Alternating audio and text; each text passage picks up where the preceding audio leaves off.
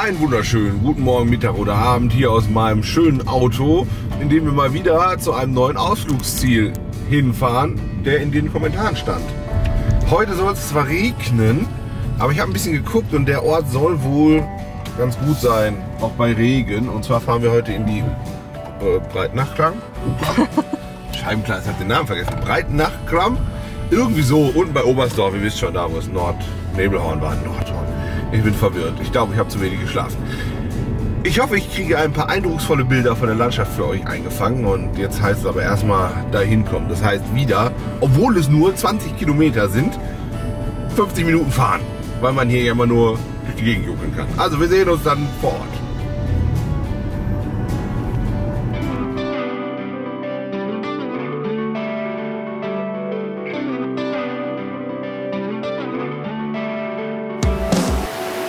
Fluss hat Durchfall.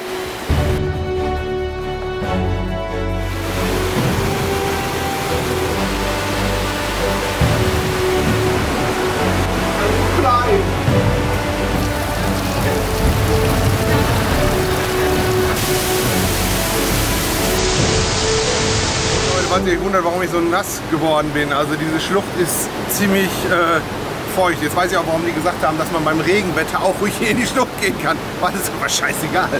Wie so oder so nass. Aber es ist toll. Es ist sehr eindrucksvoll, was die Natur so geschaffen hat. Wirklich hammerhart. Wir sind endlich wieder im Auto. Wir haben es geschafft, klatschnass. Aber zum Glück haben wir es geschafft, bevor es angefangen hat zu regnen. Und trotzdem sind wir das.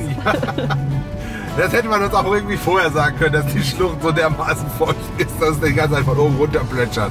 Aber schön war es trotzdem, sehr eindrucksvoll und kann man nur jedem empfehlen, der hier in die Region mal in Urlaub fährt. Guckt euch die Schlucht mal an, das ist echt cool.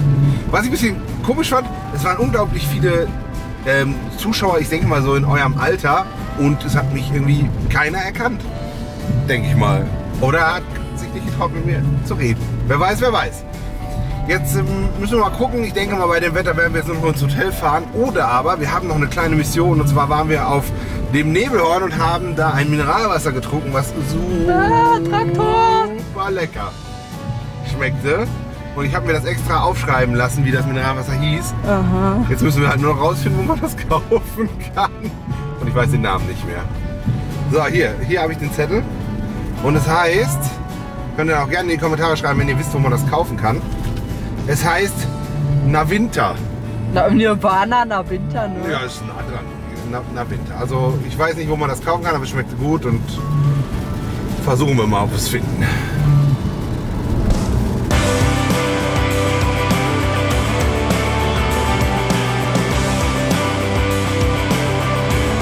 Feierabend! Feierabend! Das ist ein Feierabend! toller Firmenname. Feierabend! Ihr habt ja vorgeschlagen in den Kommentaren, dass wir doch mal ein paar Fragen beantworten sollen, so zum, zu unserem Urlaub oder ähnlichem. Und wenn ihr Bock habt, dann schreibt doch jetzt mal unten in die Kommentare für den Vlog von morgen, was wir, was ihr so für Fragen an uns habt über unseren Urlaub und über die Region oder sonst was. Vielleicht können wir ja die eine oder andere Frage beantworten. Und ja, dann legt mal los. Ja, ihr Lieben, das ist jetzt die letzte Abmoderation vor dieser wunderschönen Kulisse der Scheiben bei mir im Hintergrund und der Landschaft, die wir hier genießen. Dem Aschenbecher. Oh, da, okay. Wir hatten jetzt hier eine wunderschöne Scha Scheid Zeit und freuen uns auf die Heimat. Nein, eigentlich nicht. Auf unsere Katzen freuen wir uns wieder, wenn wir zurückkommen. Jetzt gehen wir noch für drei Tage nach Stuttgart und dann heißt es wieder Abschied nehmen. Wir wollen noch einen Musicalbesuch von Mama Mia, hätte ich was gesagt. Nein, von Mary Poppins uns anschauen.